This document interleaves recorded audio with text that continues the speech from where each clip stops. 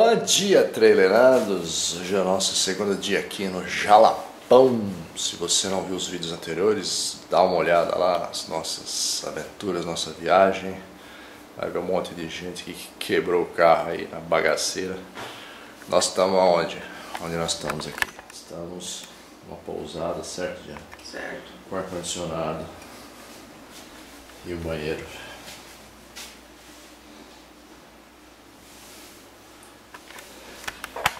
Ué, mas vocês não estão de trailer? Vocês foram pro Jalapão? Como? Então, a gente foi pro Jalapão com trailer, a gente foi pra Ponte Alta do Tocantins, deixou o carro lá, certo, já? Certo. E aí contratamos um guia e viemos no carro do guia, porque não tem condição de vir com o carro para cá, muito menos o trailer. Ontem nós passamos por quatro eh, carros, um deles estava, como é que chama lá? Ah, com os pneus. Barra de direção quebrada. Um carro, como chama? Ah, uma Cherokee. Uma Cherokee com a barra de direção quebrada, os dois pneus vesgolhando os dois para dentro. Uma combinha que estourou o radiador.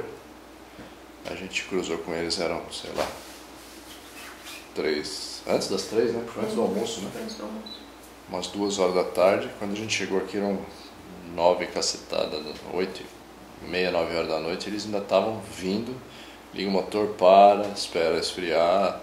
Liga o motor, anda um pouquinho, esquenta, para, esfria. Estavam é, passamos por uma caminhonete sendo rebocada num guincho, Já tava no guincho, né? já estava no guincho.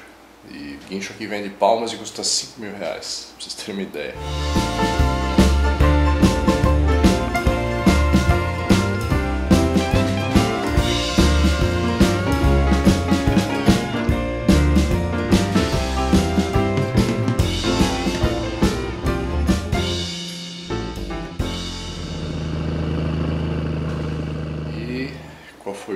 Toro. Uma Toro que explodiu dois pneus da frente ali num, umas pedras ali. E o povo tava tudo ali embaixo do sol do meio-dia de meu Deus, esperando o socorro lá, disseram eles que já tinham arrumado. Então assim, não é. é, Eu não aconselho, não vim, não viria com o meu próprio carro. Os carros dos guias, embora sejam 4x4, tem muita Pajero Dakar, muita Triton. É, mas assim, são destruídos os carros. Os caras, a gente para, os guias se reúnem para começar a conversar sobre o conserto, sobre as quebras, sobre quanto gastou. Esbagaça o carro. Esbagaça o carro. São carros arrebentados. Né? É, Funcionando, mas assim, funciona, vai, troca, quebra não sei o que, troca, funciona, quebra não sei o que, troca chassi, ponteira, suspensão, nossa. E é, um pacote aqui, é, essa época, está custando dois mil a três mil reais por pessoa, com tudo, né? Você fica quatro dias, é, o guia te leva no carro, pousada, você come, pensão completa, né? Café, almoço e janta, almoço em restaurante por aí, janta em restaurante, café da manhã na pousada, então tudo simples, tudo aqui é muito simples, né? Mas muito gostoso, as comidas muito gostosas. E hoje nós vamos passear, vamos sair, vamos fazer o nosso segundo dia, ver uns fervedouros, ver uns locais bonitos, vocês vêm com a gente.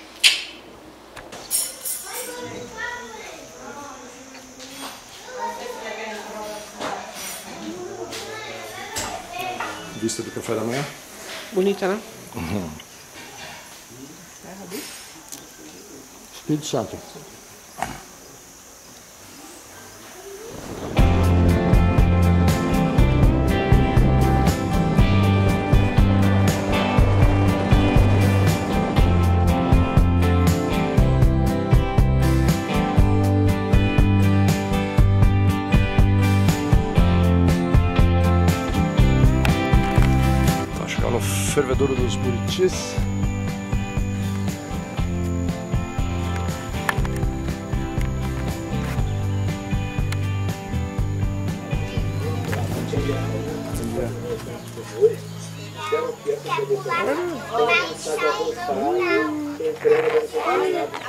É amor? Aí era só para entender, né? É, ah, mas a vacina ainda não está lá com autorização. Então tudo isso aí, Você também é bravo, amor?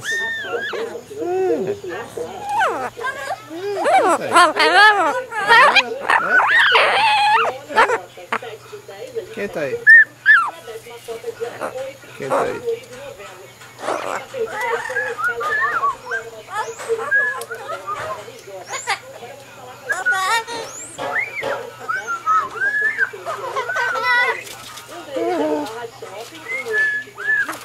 E aí, Diana? Onde estamos? Estamos no fervedouro de Buritis. Buriti? Buritis ou Buriti? Acho que Buritis. Buriti, né? No singular. olha lá. Em homenagem ao Buriti. Esse buritizeiro. Palmeira. Ontem nós fomos comprar, achamos que tava que era azeite de dendê, Era óleo de Buriti. era hora de Buriti. Aí pessoal, bebedouro do Buriti. Coisa linda. Ali. A ressurgência. Água. Parece que nem tem água aqui. Transparente. E aí, Diana, manda um salve aí pros trailerantes.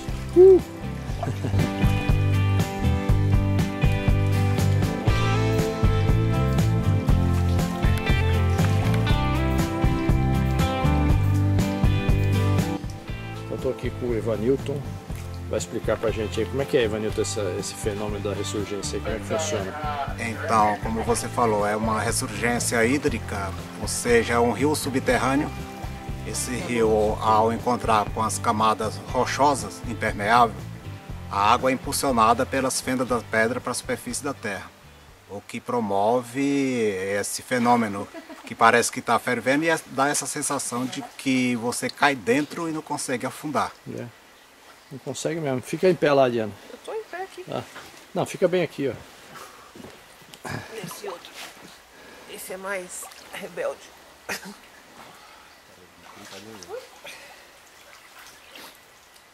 Ele joga pra cima, né? Joga.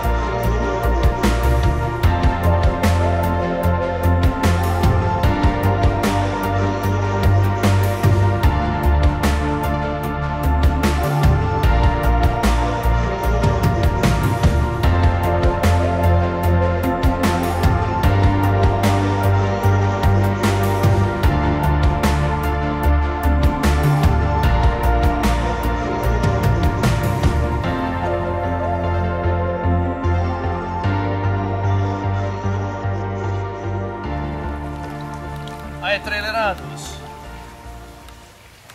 Arrumamos o cameraman, o Josias aí pra nós. olha que paz, olha que coisa maravilhosa. Dá uma olhada aqui. Transparência da água. Gente, que paz. Ó. A água brota, você fica em pé e não afunda.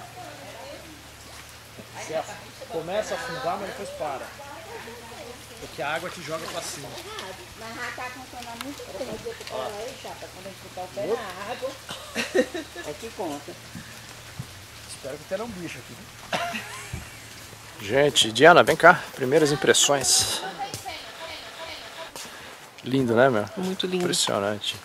Que coisa maravilhosa. A água parece que não Super tem transparente, né? transparentaça. Maravilhosa, vocês viram nas imagens aí. Coisa linda. Ó, vale a pena.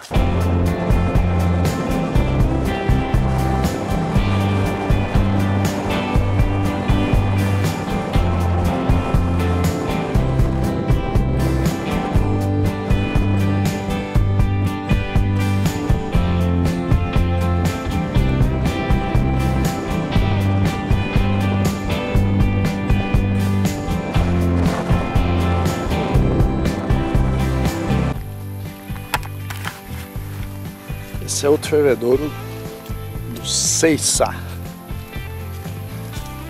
É o terceiro de hoje. Vamos ver como é que tá aí. Essa hora deve estar cheio, né? São o que, Diana? 10 horas? Você tem que acordar cedo, escolher qual ser o primeiro, já ir, porque o bagulho fica louco.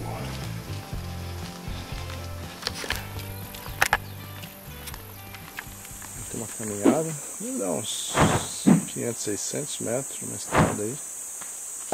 Aí senta na trilha.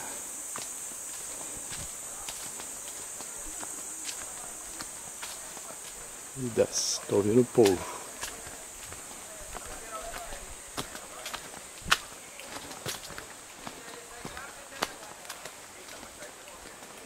Aqui tem o rio.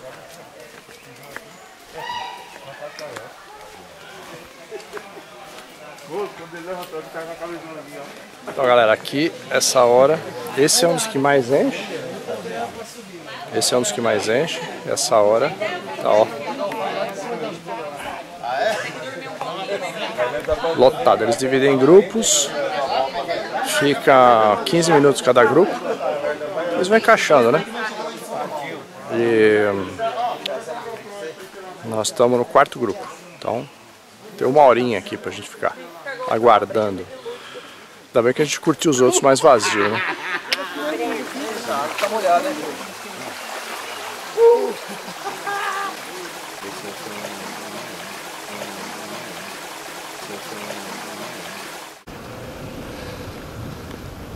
Chegaram. Povo de Rio do Sul, Santa Catarina. É. Tá andando, tá, tá bom. Agora eu tô aqui, né? Aí galera, os combeiros se safaram lá. E aí, Acabaram é que tá? chegando. Tudo bom? Devagarzinho, devagarzinho Chega, chegaram. chega. Foram ligando, desligando pra esfriar. Isso Tarará. aí. Beleza. Deus quiser, vamos fazer aqui a Cachoeira da Velha, a Cachoeira da Formiga ali. E vou, vamos, acho que dá pra entrar de noite, pelo que eu vi, né? O fervedor. O fervedor. No do Buriti ele disse que dá pra entrar de noite. É, a gente vai ficar de noite lá, disse que pode ficar a noite inteira lá, se quiser, até meia-noite. Então nós vamos pra lá e daí vamos seguir Boa Chapada. Dia- Diamantina. Valeu. Um abraço pra Boa vocês, viagem. viu? Tchau, Tudo de tchau. bom, muito obrigado, meu amigo. Um abraço, viu?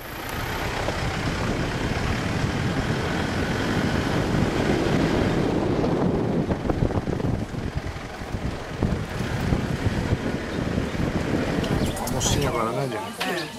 Um pratinho de verdura. Depois do almoço, fervedor do Buritizinho. Já começa num rio aqui, dá uma olhada. Olha que coisa linda. Olha que água transparente.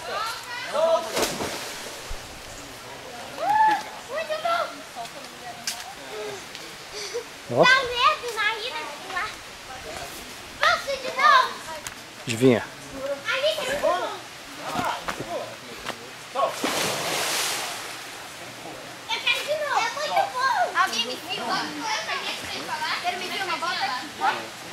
E aí, Diana, mais um fervor. Entrei no rio lá. Pessoal, depois na volta a Diana vai filmar pra vocês verem.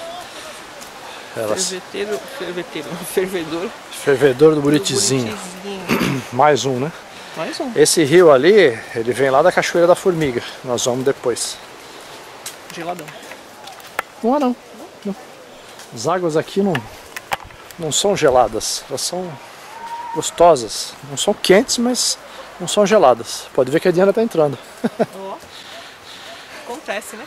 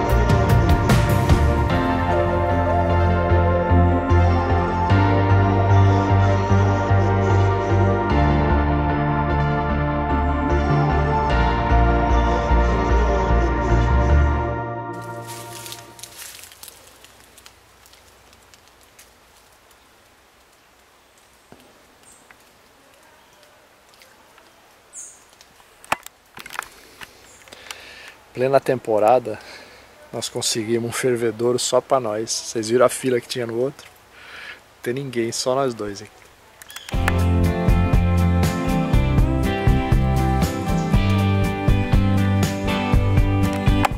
Que legal é você curtir isso aqui assim, no silêncio, ouvindo os passarinhos, tem os lírios, é um perfume doce.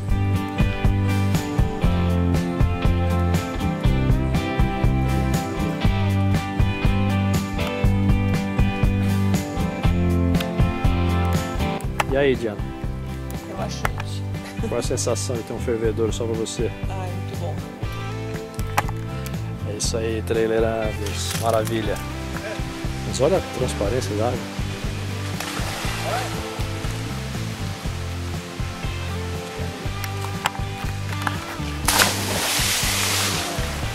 Gente, lugar lindo, lindo, lindo. Vale a pena. Vale a pena. Demos sorte. Não tinha a muvuca. É, tinha só nós dois, né? Pra entrar. Putz, Maravilha. lindo, lindo. Jalapão.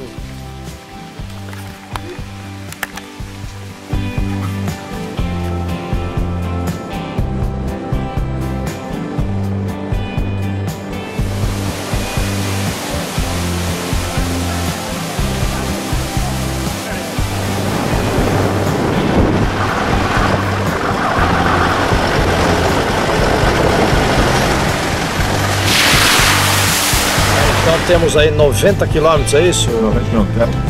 até São Félix, do Tocantins.